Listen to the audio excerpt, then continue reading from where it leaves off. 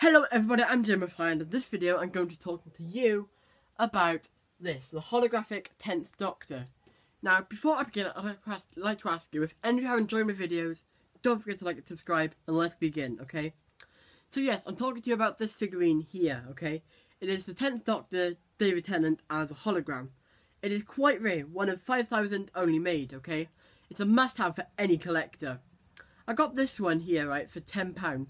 It might seem steep, right? Oh, and it also came just like a little packet, right? In a parcel. Yeah, I got this for £10, right? And yes, it might seem steep, right? However, sorry, I'm reading this off my phone, right? It, uh, it might seem steep, but it's quite rare and it will be a much sought after figurine in the future. And two, your average figurine online, right? They cost about 10 quid. So I'll show you all the ones I have so far. Right, hang on. So I've got this, the Black Dalek, this, uh, this Sarah Jane, uh, the Master, another uh, an another villain, and another version of the Master. Right. Anyway, I got these from someone else selling them cheaper, right? But if you look on eBay or Amazon, they are about 10, 10 quid each, unless you're lucky enough to find some cheaper than that. Now, the detail on, on the holographic figurine is amazing, right? I'll show you this now. If we take my, one of my original figurines I got, right, the, this is one of the very first ones I got, right, the shoes, excellent detail on them, another camera's gone a bit blurry there, right, uh, you, can, you can notice he's wearing sneakers, right, white sneakers with the laces on it, right, and you can really see the laces.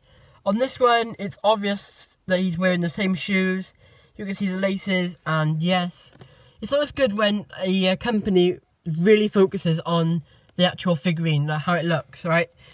If they're just making it so it looks generically and like sort of like the Doctor that they're aiming for, then uh, it doesn't work because it just makes your figurine look all cheap and rubbish, right?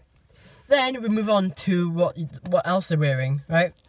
So notice that he's wearing David Tennant, like the actual figurine of him, is wearing matching. Uh, matching shirt with trousers, right? So a, a suit, black and white with white stripes, right? And if we look at the hologram, because it's just a hologram, uh, he's he's still wearing stripy uh, suit, right? However, obviously it's not going to be shown just because it's a hologram. I've said that way too many times now, right? Now, I'm not sure if this is my fault or the figurine or whatever, right? See the suit here?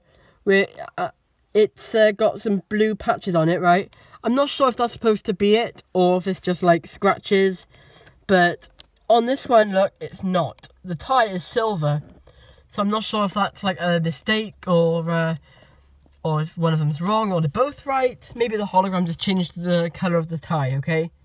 Anyway, what's Sarah Jane doing in that TARDIS then? Um, now we take notice to the face, right? That could have sounded like an insult. The face on this one, right, it looks really like David Tennant. Okay?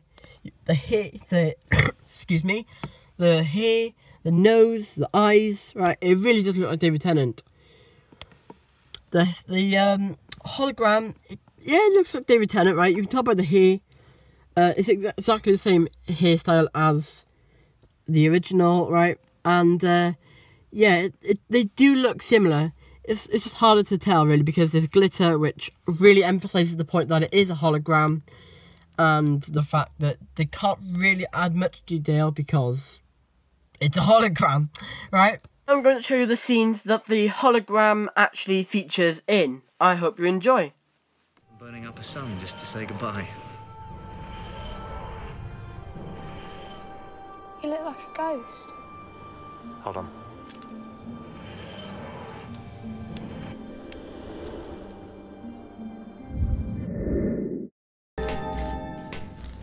God, it's turning out the light! Quickly! I can't find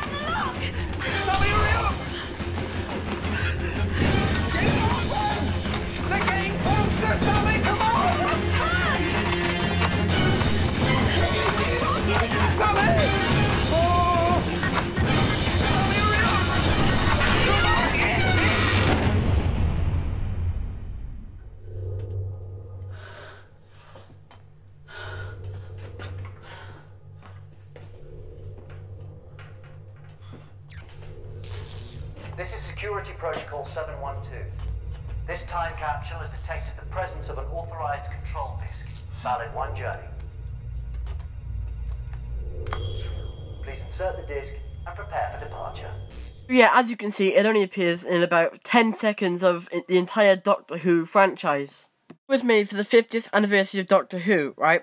And I don't know why they made it, because it, it only appears in two episodes of Doctor Who, Blink and Doomsday, which have nothing to do with the 50th anniversary. We get the close up on John Hurt's Doctor, we can't forget that.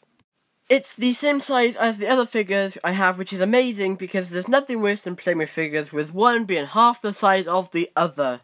I heard to show a scene, right, and why I think that they should have made the ninth Doctor as a hologram and not the tenth Doctor, okay? This is uh, from the ninth Doctor's final episode.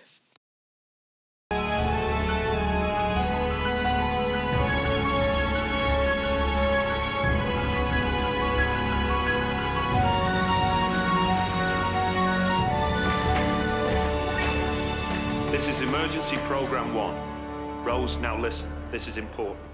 If this message is activated, then it can only mean one thing. We must be in danger, and I mean fatal. I'm dead or about to die any second with no chance of escape. No. And that's okay. Hope it's a good death. But I promise to look after you, and that's what I'm doing. The TARDIS is taking you home, I won't let you. and I bet you're fussing and moaning now. Typical. But hold on and just listen a bit more. The TARDIS can never return for me. Emergency Program 1 means I'm facing an enemy that should never get their hands on this machine. So this is what you should do. Let the TARDIS die. Just let this old box gather dust. No one can open it, no one will even notice it. Let it become a strange little thing standing on a street corner. And over the years, the world will move on and the box will be buried. And if you want to remember me, then you can do one thing. That's all. One thing. Have a good life. Do that for me, Rose. Have a fantastic life.